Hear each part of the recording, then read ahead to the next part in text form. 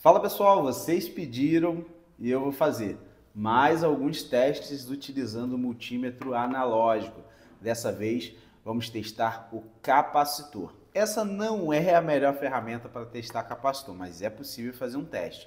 E fica nesse vídeo até o final que eu vou te mostrar sim uma ferramenta muito top para testar capacitor. Então, espero que você goste desse conteúdo. Bora lá! Já estamos aqui na bancada, estamos aqui agora com o multímetro analógico e alguns capacitores, como você pode ver aí. Temos capacitores eletrolíticos, tá?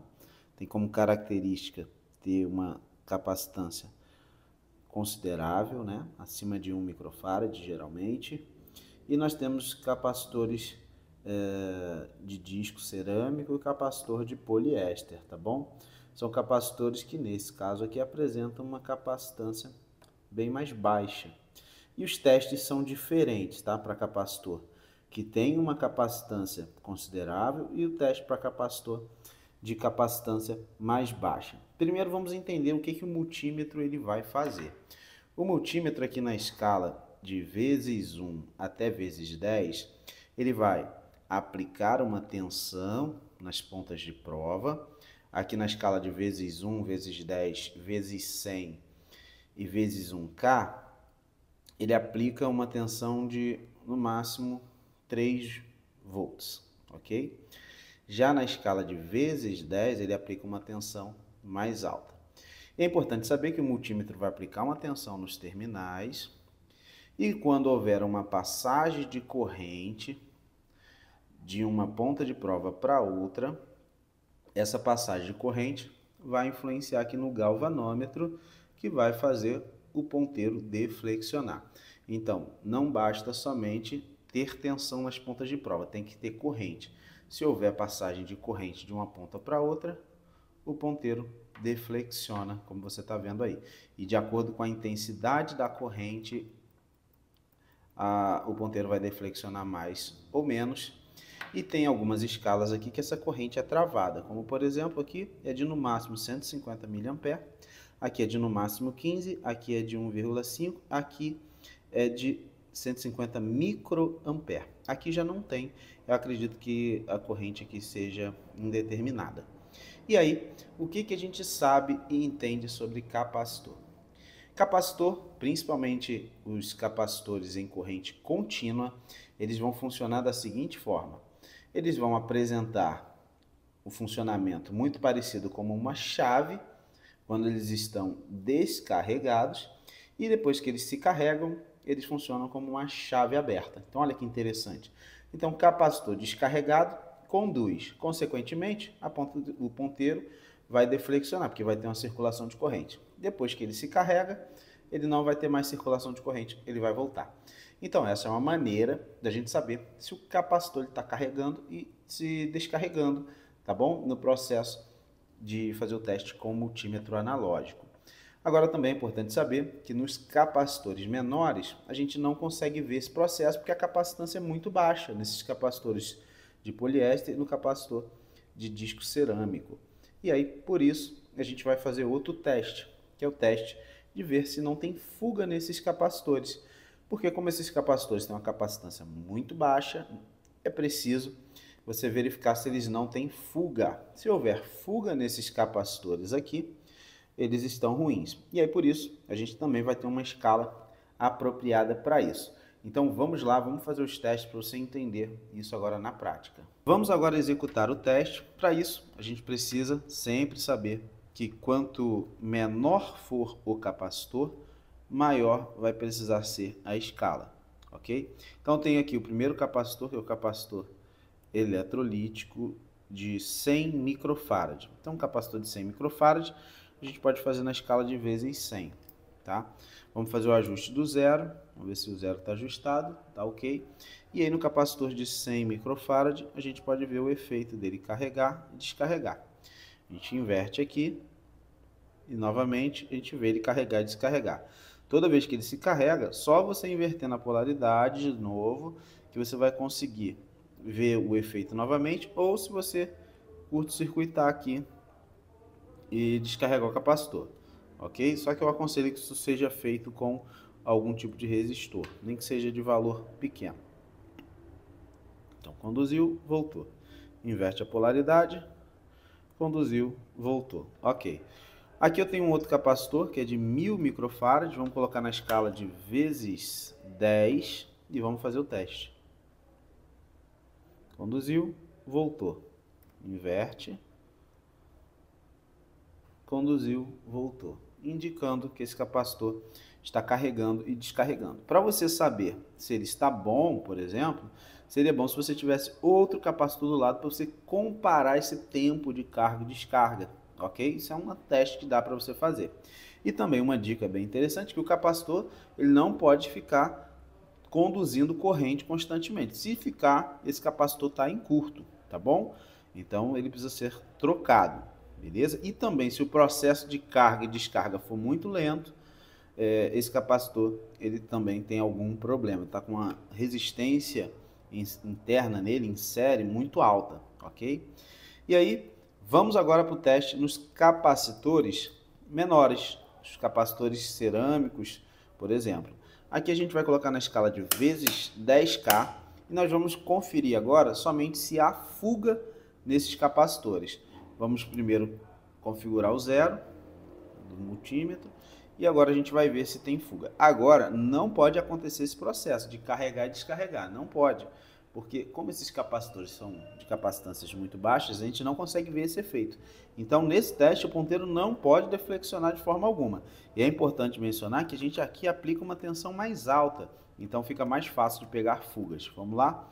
Primeiro capacitor de poliéster, como você pode ver aí, não se mexeu nada. Esse é um capacitor de 1 microfarad ok? Ó, não deflexionou nada.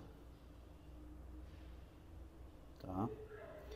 Vamos vir aqui agora no capacitor cerâmico e também, como você pode ver, não deflexionou nada, ok? Aí, ah, se eu botar na menor escala, vai acontecer alguma coisa? Aqui você tem uma tensão e corrente, uh, tensão menor e uma corrente estabilizada. Vamos ajustar o zero fazer o ajuste aqui do zero. E vamos ver se a gente tem algum efeito diferente. Ó, não tem, tá vendo? Não tem, nem com tensão menor. Porque a capacitância é muito baixinha. Não chega a causar grandes influências, tá? A corrente de que a, a corrente que enquanto o capacitor está se carregando é muito rápida, né? rapidamente a gente perde porque o capacitor é de baixa capacitância ok? Então é dessa forma que você pode utilizar um multímetro analógico para testar os capacitores. Não é o melhor teste, você pode utilizar um capacímetro, porém também o capacímetro não é preciso. Você tem uma outra ferramenta que eu falei que eu ia falar no final desse vídeo, que eu vou mostrar agora para você. Vamos lá? A ferramenta é essa daqui, são esses testadores de transistor, tá? Essa daqui é uma ferramenta muito bacana, esse daqui foi um presente do meu amigo e professor Ernesto da Decol Eletrônica. É um teste de transistor, na verdade é um multiteste que você pode estar utilizando para capacitor também. Tá? Então eu tenho aqui, por exemplo, um capacitor eletrolítico. Deixa eu energizar aqui. Eu vou testar nesse testador e é muito simples.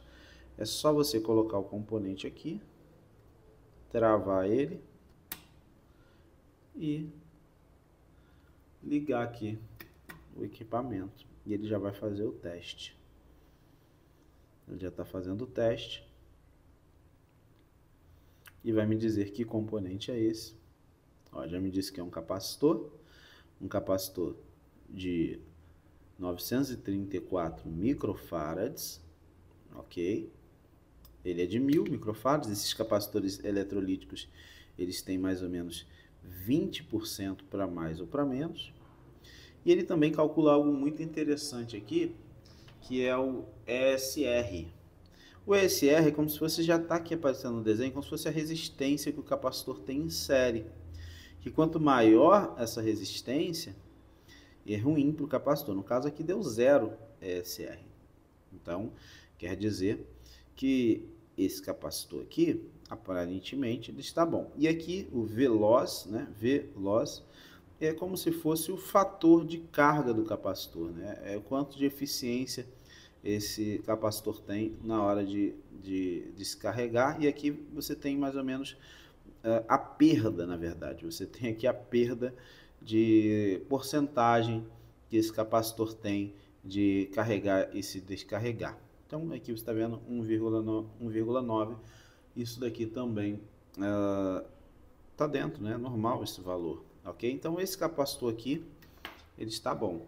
Com esse multiteste eu consigo não só medir a capacitância, mas esses outros pontos que são bastante importantes. Vamos pegar esse outro aqui. Vamos pegar outro capacitor. Um capacitor cerâmico agora. E vamos agora verificar novamente. Está fazendo o teste. Já me disse que é um capacitor de é o 104, né? 104 picofarad. Como você pode ver aí, esse é o teste para esse capacitor, ok? 104 picofarad é o valor desse capacitor aqui de baixa capacitância. Tem mais um outro capacitor aqui, capacitor eletrolítico. A gente vai testar agora, de 100 nanofarad. Opa, Calma aí que o dispositivo ele tem outras funções, né? e eu acabei entrando em algumas outras delas. Mas vamos voltar ao normal. Pronto. Vamos verificar. Fazendo o teste. Já me disse que é um capacitor eletrolítico. Olha só, tem uma ESR de ponto .10, né? Ponto .10, ou seja, 0,10 ohms. Uma perda de carga de 1,1. Ok, é também um valor aceitável, uh, uma SR bem baixa, está aqui de 89 microfarad, um capacitor de 100, mais ou menos 20%, está dentro ainda, só teve uma perda de 10%. Então, dessa forma, a gente consegue testar, tem mais um outro aqui, para fechar esse de poliéster. fazer mais um teste. Testando. Capacitor de 1036 picofarad. 1036 picofarad é a mesma coisa que 1 microfarad, tá?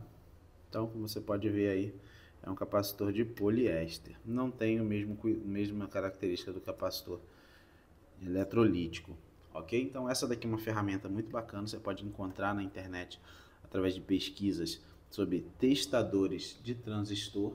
Tá? Em testadores de transistor você encontra essa ferramenta e é muito útil, muito bacana para você testar os componentes eletrônicos. Eu apenas falei aqui do nosso capacitor, porém ele testa muitos outros componentes, como até mesmo transistores. Olha só, vou botar um transistor aqui e você vai ver. Opa. E você vai ver que ele vai testar também, vai me dizer que transistor é esse. Ah lá, já me disse que é um transistor. É bipolar, me dá várias informações importantíssimas sobre esse transistor. Já me diz uma série de coisas.